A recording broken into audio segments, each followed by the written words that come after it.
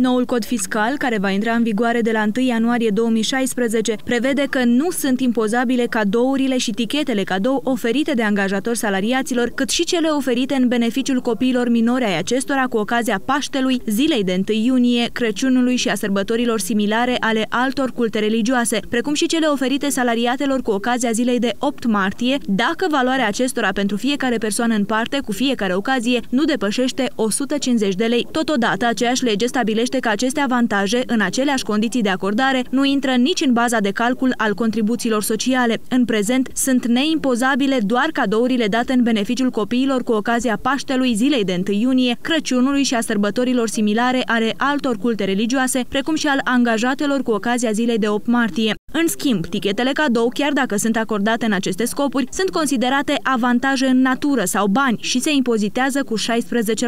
însă nu sunt incluse în baza de calcul a contribuțiilor sociale. Pentru angajatori, cadourile sunt considerate cheltuieli sociale și sunt deductibile la calculul impozitului pe profit în limita a